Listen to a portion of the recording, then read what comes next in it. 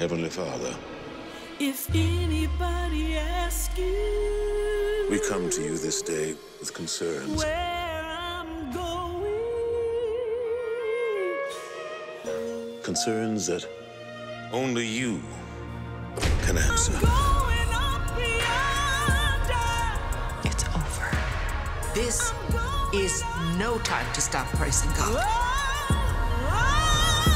Let us seal up this tomb, and wait for our miracle.